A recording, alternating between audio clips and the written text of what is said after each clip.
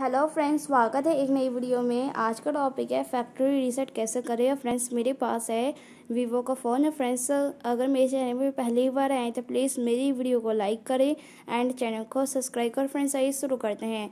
और फ्रेंड्स, हम फ़ोन को फैक्ट्री रीसेट करना, फ़ोन को रीसेट करना एक ही बात होता है, पर हम फ़ोन को रीसेट तब करते हैं जब आपका हैंग कर रहा हो आपका फ़ोन। और मतलब हैंगिंग प्रॉब्लम के वैसे बहुत से तरीके होते हैं, पर उन मतलब उन तरीक़ों से भी आपका नहीं खुलता है। और सॉरी फ्रेंड्स, हैंगिंग प्रॉब्लम नहीं होता सॉल्व। तो लास्ट तरीका हम करते हैं फ़ोन को रीसेट करना। और फ़ोन को रीसेट करना यानी कि जो आपका ऐप होता है, ये सब हट जाएगा। पर और रिसर्च मतलब रिसर्च करने में आपके कोई प्रॉब्लम भी आ सकते हैं। तो उस, और कैसे यूज़ करते हैं मतलब कैसे रिसेट करेंगे, ये शुरू करते हैं। सबसे पहले आपको सेटिंग्स का ओपन करना है एंड सेटिंग्स को ओपन करने के बाद आपको उस प्रकाश इंटरफेस आएगा। और इसके बाद आपको यहाँ दिखिएगा सिस्टम का ऑप्शन आपको उस पर क्लिक करना है एंड आपको रिसेट ऑप्शन पे क्लिक करना है। तो आपको यहाँ दिखिएगा डिलीट ऑल डाटा या फिर किसी में लिखा रहता है eraser all data factory reset तो और आपको इस पर क्लिक करना है। एंड इसके बाद आपको इस प्रकार से इंटरफेस आएगा। तो आपको यहाँ दिख रहा होगा, इस पर क्लिक कर देंगे। इरेजर ऑल डाटा तो आपका फ़ोन रीसेट हो जाएगा। पर इस पर क्लिक करने से पहले आपको इन बातों का ध्यान रखना चाहिए। अगर आपके में सिस्टम गूगल अकाउंट है और आपका download apps music photos other data है आपके में तो आपका हट जाएगा। और फ्रेंड्स और इस पर रिसर्च मैं नहीं कर रही, पर मेरा फ़ोन एकदम सही है, मेरे में अकाउंट भी है, वो हट जाएगा।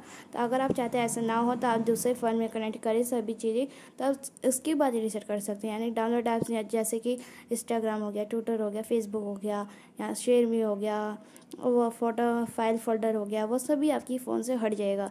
और फ्रेंड्स अगर आप चाहते नहीं ऐसा तो आप दूसरे फ़ोन में कनेक्ट करेंगे, तब उसको रिसेट कर सकते हैं। और फ्रेंड्स रिसेट करने हैंगिंग प्रॉब्लम के वैसे बहुत से तरीके होते हैं, वो अपनाएँ। और अगर आप चाहते हैं इसको रिसेट करना तो कर सकते हैं। जब रिसेट कर देते हैं तो आपको लगेगा न्यू फ़ोन आपने परचेस किए। एंड इसके बाद इसको रिसेट कर देते आपका इसके बाद आपका फ़ोन इस प्रकार से हो जाएगा स्विच ऑफ़। एंड इसके बाद इसे कैसे ओपन करते हैं वो बता देती हूँ। मान लो कि मेरा रिसेट हो चुका है, एंड मतलब कि मैंने रिसेट कर चुके जब आपका रिसेट होगा तो इस प्रकार से इंटरफेस आएगा और इसे ओपन करने के लिए आपको पावर बटन दिखेगा इधर तो आप उसको प्रेस करके रखेंगे इस प्रकार से। एंड प्रेस करने के बाद आपको ओपन होगा। एंड वैसे तो मेरे मैं बता रही है आपको, मैंने एक बार कर रखी हूँ तो इसलिए बता रही है आपको, ओपन होने के बाद आपका इधर आएगा नेक्स्ट का ऑप्शन तो आप उस पर क्लिक करेंगे। क्लिक करते रहेंगे, क्लिक करते रहेंगे। अगर ऊपर का स्किप आता लिखा हुआ था, आप उस पर क्लिक करेंगे।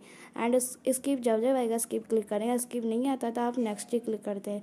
एंड इसके बाद आपका स्क्रीन ऑन हो जाएगा। तो इस प्रकार से आप अपने फ़ोन में हैंगिंग प्रॉब्लम को सॉल्व करने के लिए आप फैक्ट्री रीसेट कर सकते हैं, यानी कि फ़ोन को रीसेट कर सकते हैं। तो इसी प्रकार से आप अपने फ़ोन को रीसेट करेंगे। फ्रेंड्स प्लीज़ मेरी वीडियो को लाइक करें।